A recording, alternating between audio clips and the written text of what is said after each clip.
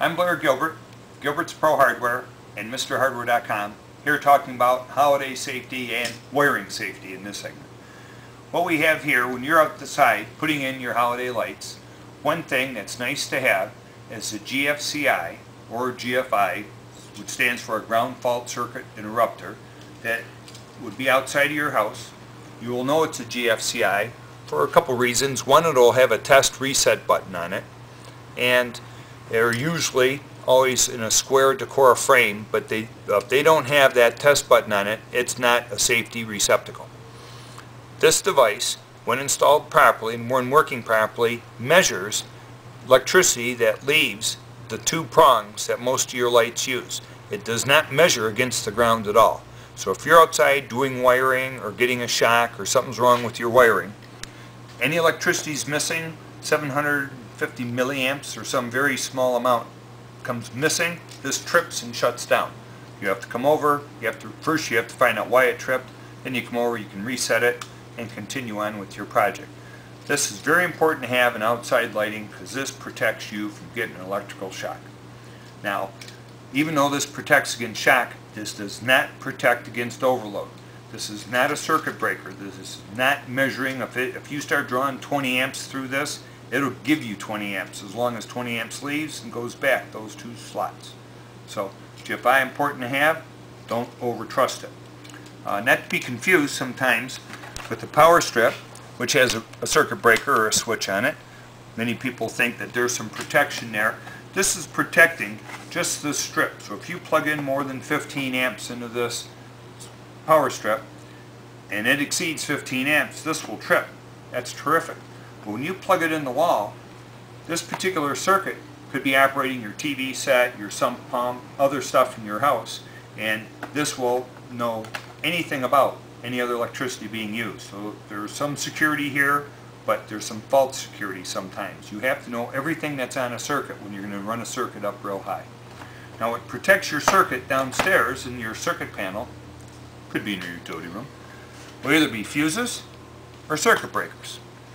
Uh, quick thing about fuses, all the old fuses, fuses, the TLs, are all large base, which happens to be the same size as a light bulb. So when these are installed, if you were blowing 15 amp fuses and you didn't know how to correct it, most amateurs will go buy 20 amp fuses and put those in. The problem is your wiring was rated typically for the 15 amps. When you put in a 20, your wiring can get overloaded. When it overloads, it can hot, it can burn. There's so what they did is they came up with a SL fuse. We just simply think of them as a small fuse. These have smaller ceramic threads than the standard fuse, and the threads are different and the different sizes of fuse. So a 20 amp fuse will not screw in to a 15 amp hole. These are our world's way of protecting us from putting in bigger fuses. We threw in a couple circuit breakers, same thing.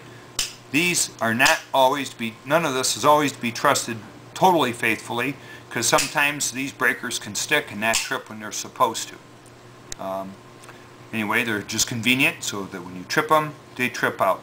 Now to show you what goes along with these breakers is 15 amp breakers and 15 amp fuses will use 14 gauge wire. Here's a sample of the size of it just to give you an idea how big that diameter of the wire is. If you think you have bigger wire, here's a 20 amp wire known as 12 gauge wire. Skosh bigger than the 14 gauge wire capable of safely carrying 20 amps throughout the house. And just to confuse you a little, I threw in a 30 amp wire, which is called a 10 gauge wire. This is typically feeding your dryer, sometimes your air conditioners, stuff like that.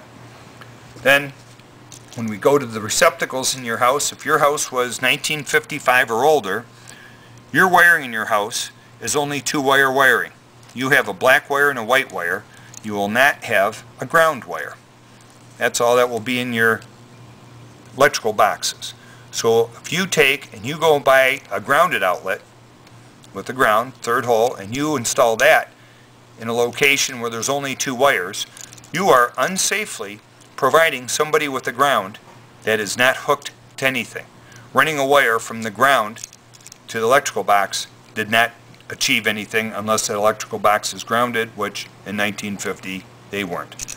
So don't be too quick to take out all your two-prong outlets and put in three-prong. Another thing about outlets is they're polarized. There's a little slot and a larger slot. A lot of your extension cords have a small prong and a wide prong. This is for child safety.